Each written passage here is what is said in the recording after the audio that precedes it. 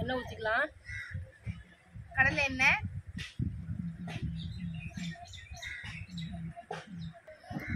ஒரு table spoon சோம்பு போட்டுக்கலாம். கூடவே மூணு பட்டை ரெண்டு லவங்கம் போட்டுக்கலாம். ரெண்டு வெங்காயம் நல்லா அரிஞ்சது சிறுசாக அரிஞ்சது. நாலு பச்சை மிளகா கொஞ்சமாக கருவேப்பிலை கொஞ்சமாக கொத்தமல்லி. சேர்த்துக்கலாம்.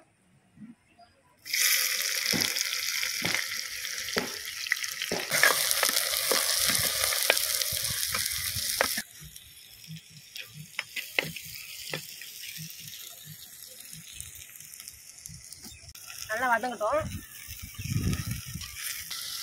நல்லா கிரேவியாக வரணும்னா நல்லா வெங்காயம் நல்லா வதங்கணும். அப்போ தான் நல்லா கிரேவியாக ஆகும்.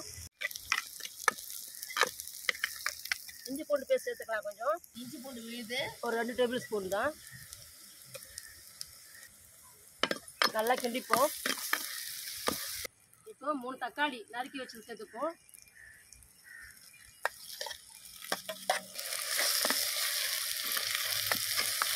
கல்லுப்பு ஒரு கை. அப்பதான் தக்காளி நல்லா மசியும்.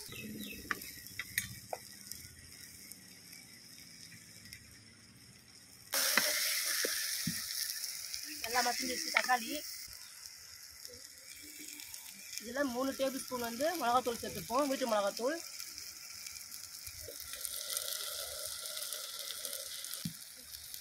இது ரெண்டு டேபிள் ஸ்பூன் வந்து மஞ்சள் தூள் சேர்த்துக்கலாம்.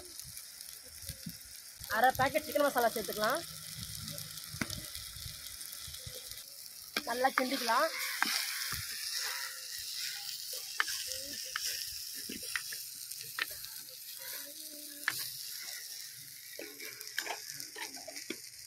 சிக்கனை வந்து நல்லா சுத்தம் பண்ணி அலசி வச்சிருக்கோம்.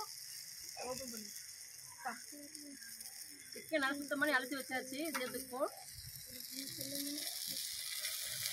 வெட்டியும் வச்சாச்சு. அதை சின்னதாக வெட்டி வச்சுக்கோங்க. தொக்குக்கு. தொக்கா சரி குழம்பு தலை சின்ன சின்னதாக நல்லாயிருக்கும்.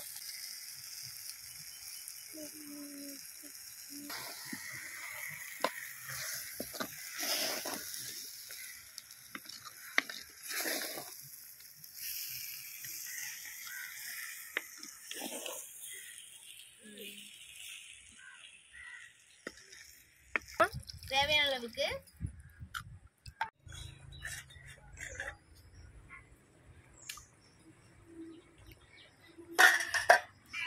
சிக்கன் குழம்பு நல்லா கொதி வந்துருச்சு.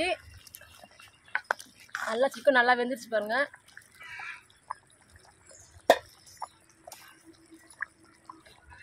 இப்போ கருப்பு மிளகுத்தூள். அது ஒரு டீஸ்பூன் போட்டுப்போம்.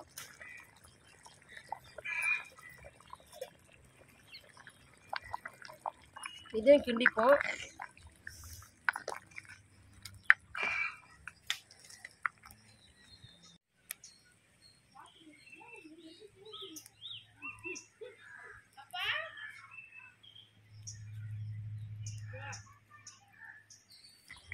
கரெக்டாக தான் இருக்கும். உப்பு காரம் எல்லாம் கரெக்டாக இருக்கும்.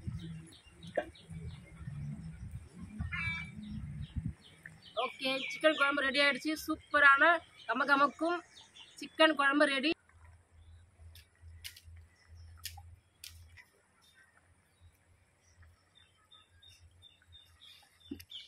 அடுப்புலேருந்து இறக்குன பிறகும் கொதிக்கும். அதான் மண் சட்டி விறகு அடுப்பு